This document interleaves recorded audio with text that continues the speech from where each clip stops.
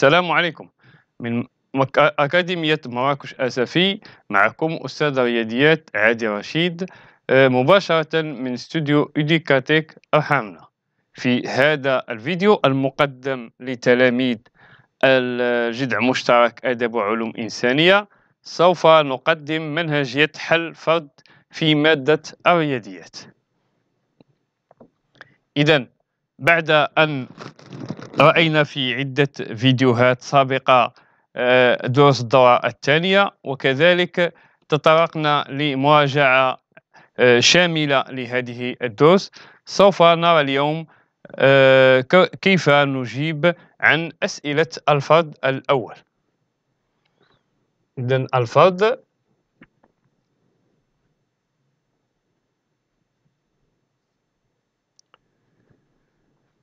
يتكون الفرد من ثلاث تمارين. تتعلق بالمعلم في المستوى ومعادلة المستقيم وكذلك آه، نعم حل مبياني لنظمة أو لنظمتين. نبدأ بالتمرين الأول. في التمرين الأول مطلوب أن نختار معلم ثم نمثل عليه بعض النقط.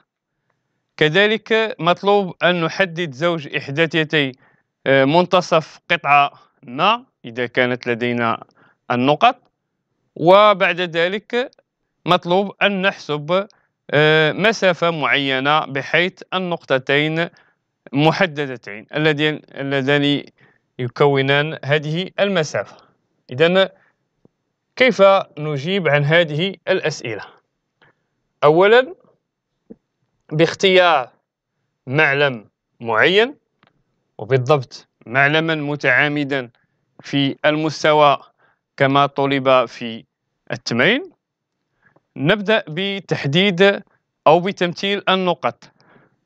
فالنقطة A ذات الإحداثيات ناقص واحد اثنان أو التي أفصولها ناقص واحد وأرتبها اثنان فالأفصول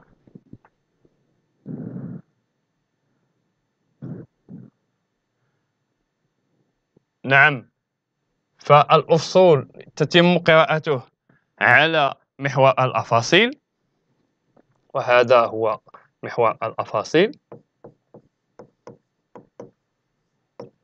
إذا ناقص واحد على محور الأفاصيل هنا. والمستقيم الماء من محور الأفاصيل والعمودي عليه. يتقاطع مع المستقيم الماء من العدد اثنان وهو أرتوب. هذه النقطة يتقاطعان في النقطة إذا النقطة التي أفصولها ناقص واحد وأرتوبها اثنان. توجد هنا. آه لتمثيل النقطة ب نقوم بشيء نفسه. أي نقرأ اثنان على محور الأفاصيل. ثم التقاطع مع المحور أو المستقيم الماء من ناقص ثلاثة على محور الأراتيب. ونفس الشيء بالنسبة للنقطة السي والنقطة دي إذا النقطة سي أفصولها صفر أي سوف توجد على محور الأراتيب لأن جميع النقط الموجودة على محور الأراتيب لها أفصول صفر. والأرتوب اثنان إذا النقطة سي توجد هنا. وأخيرا النقطة دي التي أفصولها آه، ناقص ثلاثة وأرتوبها صفر.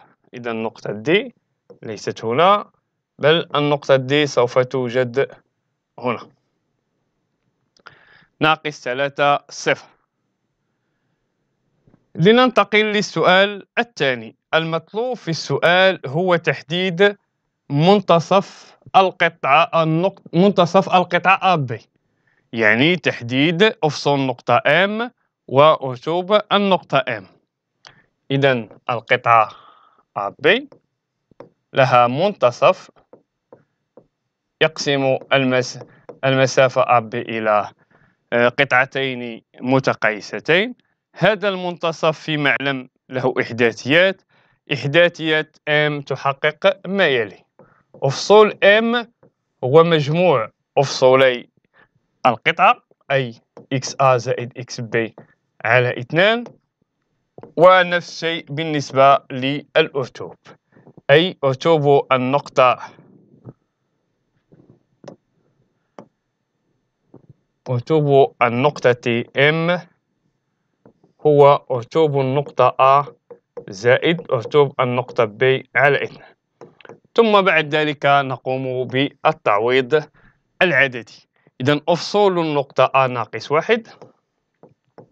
أفصول النقطة ب اثنان الكل على اثنان ناقص واحد زائد اثنان على اثنان تساوي واحد على اثنان في بالنسبة لأرتوب النقطة M نعوض الأرتوبين وهما ناقص ثلاثة واثنان إذا اثنان زائد ناقص ثلاثة اثنان زائد ناقص ثلاثة تساوي ناقص واحد على اثنان إذا زوج إحداثيتي النقطة M هما بالترتيب الأفصول ثم الأرتوب. هكذا نكون قد حددنا آه، منتصف القطعة أو زوج إحداثيتي منتصف القطعة.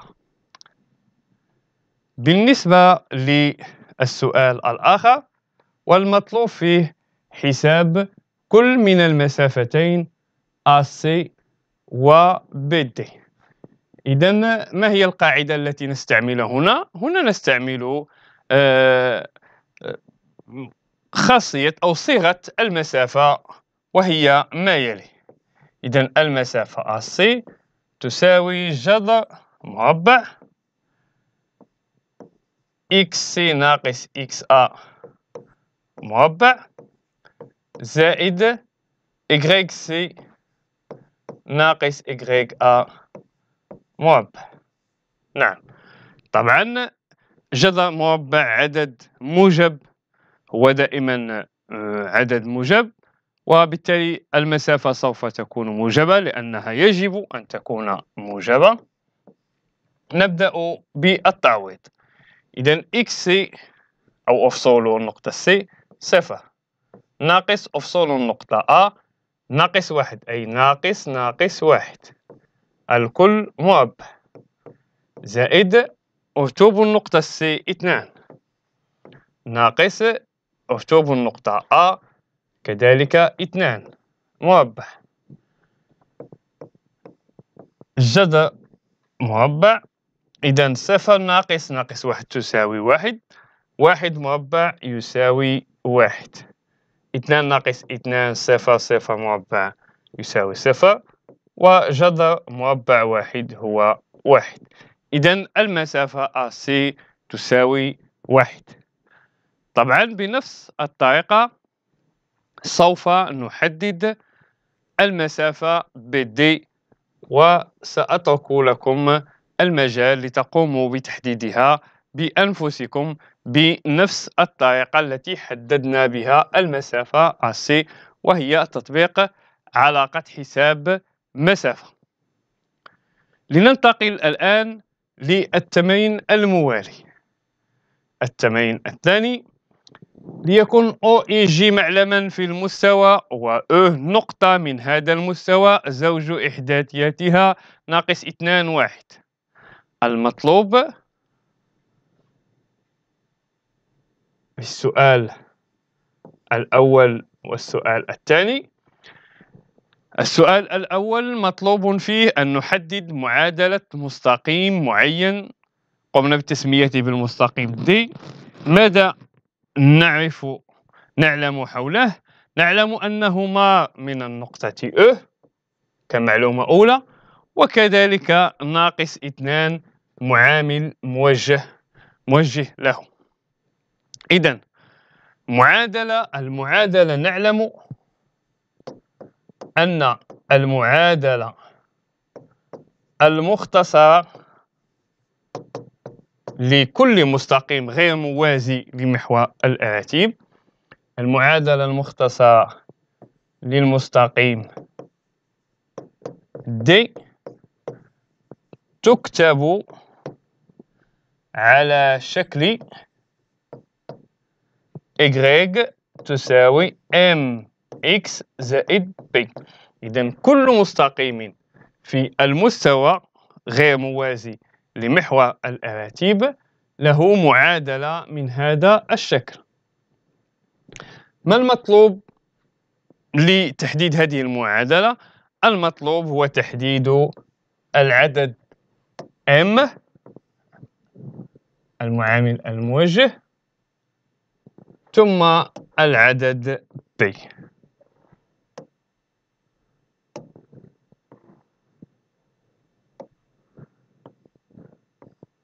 نعم. إذا العدد m لدينا العدد m وهو المعامل الموجه إذا لدينا حسب المعطيات m يساوي ناقص اثنان لأن معامله الموجه هو ناقص اثنان.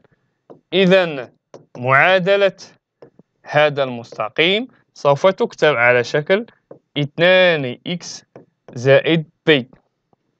B هو الأرتوب عند الأصل.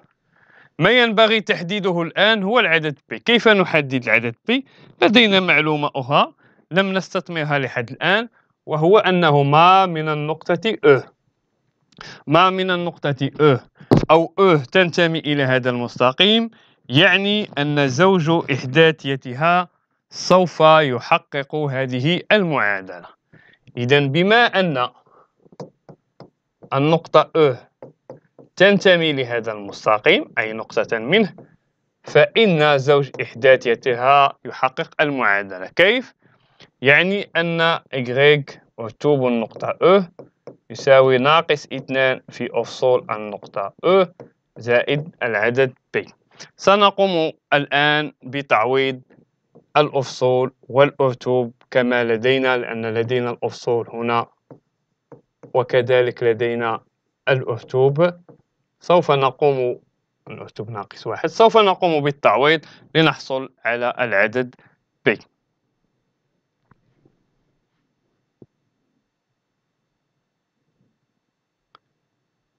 إذا بما أن يعني أن واحد وهو أرتوب النقطة أو يساوي ناقص اثنان في أفصول النقطة أو أي ناقص اثنان زائد العدد بي ومنه العدد بي يساوي واحد. إذا ناقص اثنان في ناقص اثنان أربعة نحول إلى الجهة الأخرى أو نطرح من كلتا الطرفين أربعة فنحصل على بي يساوي ناقص ثلاثة وبالتالي معادلة المختصر المعادلة المختصرة لهذا المستقيم هي y تساوي ناقص اثنان x زائد b أي ناقص ثلاثة زائد ناقص ثلاثة. إذا هذا هذه هي المعادلة المختصرة للمستقيم d. السؤال الثاني لنحدد معادلة المستقيم دي بريم الموازي للمستقيم دي كمعلومة أولى والما من أصل المعلم كمعلومة ثانية. إذا إذا كان مستقيم موازي لمستقيم آخر فهذا يعني أن لهما نفس الميل. إذا بما أن بما أن ال D بما أن D يوازي D prime مستقيما متوازيان فإن لهما نفس الميل. فإن ميل المستقيم D prime يساوي كذلك ناقص اثنان. إذا معادلة هذا المستقيم سوف تكتب كذلك على شكل ناقص اثنان x زائد b لتحديد b لدينا نعلم أن ال D prime مار من أصل المعلم. أصل المعلم والنقطة ذات الأفصول صفر والأرتوب صفر إذا b منعدم وبالتالي معادلة المستقيم D prime الموازي للمستقيم D والمار من أصل معلم يا إيكغيك تساوي ناقص اثنان x.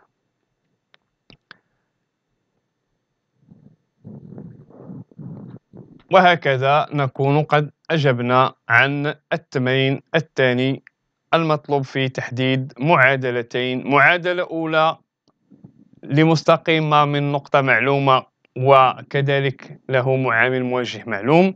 والمعادلة الثانية لمستقيم موازي لمستقيم آخر وما من نقطة معلومة في هذه الحالة أصل المعلم.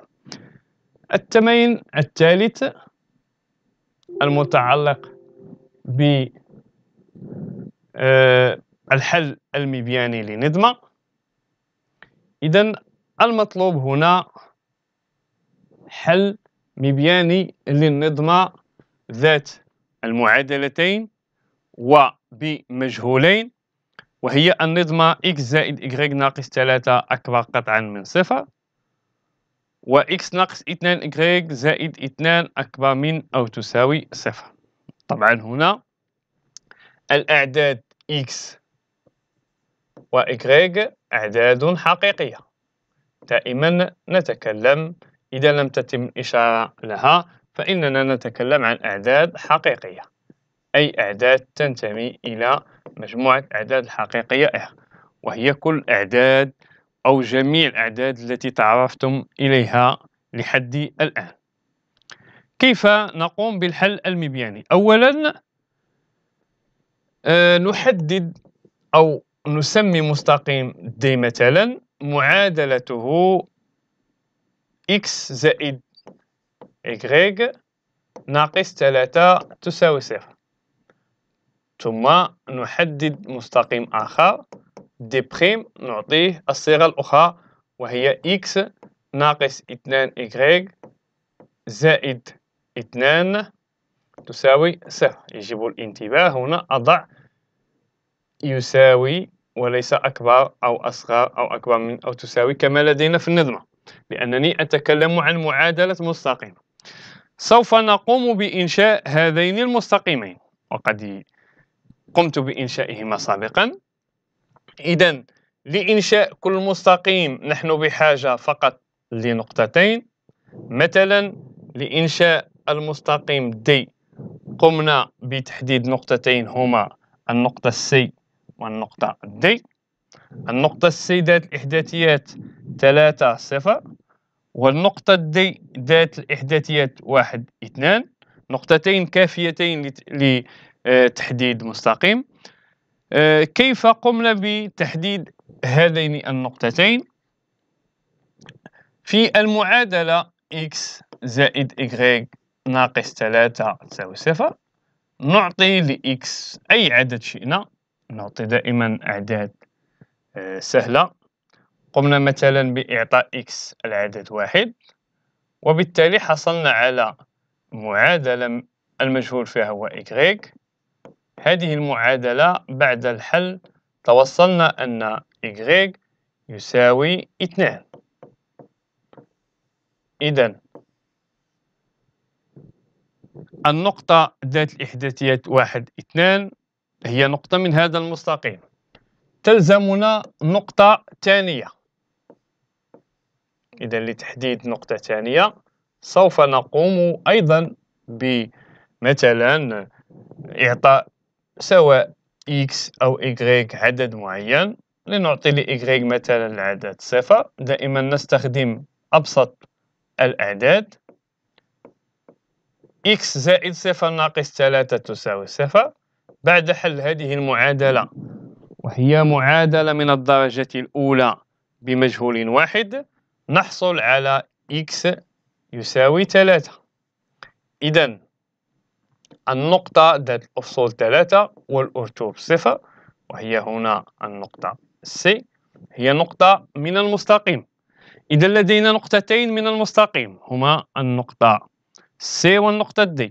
وبالتالي يمكن إنشاء هذا المستقيم الماء من هذين النقطتين. بنفس الطريقة نقوم بإنشاء المستقيم دي بريم وذلك بتحديد نقطتين منه. قمت بتحديد النقطة A ذات الإحداثيات صفر واحد والنقطة ب ذات الإحداثية اثنان اثنان. يمكن لتلميذ آخر أن يقوم بتحديد نقط أخرى. كذلك لأنه المستقيم يضم ما لا نهاية من النقط ونقطتين كافيتين. إذا بعد إنشاء هذين المستقيمين نعلم أن حل آه، مبياني الحل المبياني لمتراجحة متراجحة بمجهولين من الدرجة الأولى هو نصف مستوى حافته المستقيم. إذا سوف نحدد حل المتراجحة الأولى. إذا حل المتراجحة الأولى هو نصف مستوى حافته دي إما النصف الذي يضم النقطة أصل المعلم أو النصف الآخر الذي لا يضمه. كيف أتأكد؟ لأتأكد من أي نصف نتكلم. يكفي أن نأخذ نقطة من أي نصف شئنا ونعوضها. وأسهل نقطة يمكن أخذها هي النقطة O ذات الإحداثيات صفر صفر. إذا إذا قمت بتعويض المتراجحة الأولى بالأعداد صفر نحصل على ما يلي؟ صفر زائد صفر ناقص ثلاثة عدد سالب. وبالتالي حلول هذه المتراجحة. أكبر قطعا من صفر هو نصف المستوى الذي لا يضم أصل المعلم لأن أصل المعلم ليس حل. إذا هذا النصف. نتكلم عن نصف المستوى الذي حافته هذا المستقيم وفي نفس الوقت لا يضم النقطة O أه، بالنسبة للمستقيم الآخر. المستقيم الآخر أو المتراجحة الأخرى ما هو حلها؟ نأخذ نفس النقطة O لأنها أسهل نقط يمكن أن نأخذ أه، النقطة A مثلا يمكن أن نأخذ النقطة B أي نقطة شئنا. لكن أسهل هذه النقط في التعويض هي النقطة O لأن إحداثيتها منعدمة وبالتالي يسهل التعويض. إذا عند التعويض في المتراجحة التالية نحصل على صفر ناقص اثنان في صفر زائد اثنان والتي تساوي اثنان. اثنان نعم أكبر من أو يساوي صفر. إذا حل هذا هذه المتراجحة هو نصف المستوى الذي وهو مغلق لأن لدينا هنا أو تساوي والذي يضم النقطة أو أصل المعلم. الآن نريد أزواج النقط التي تحقق لنا المتراجحتين معا. طبعا نبحث عن التقاطع والتقاطع نرى هنا. كي نراه جيدا سوف أقوم بمسح هذه الحلول التي لا نحتاجها الآن. حتى يتبين لنا الحل جيدا. نعم. إذا الجزء المخدش من المستوى هو آه، الذي يتضمن آه، النقط التي أزواجها أقول أزواجها لأننا نتكلم عن أزواج x y لأن حلول هذه المبياني يعني إيجاد x وإيجاد y إذا نتكلم عن أزواج x y إذا هذه أزواج هذه النقط التي توجد على الجزء الجزء المخدش هي حلول هذه النظام.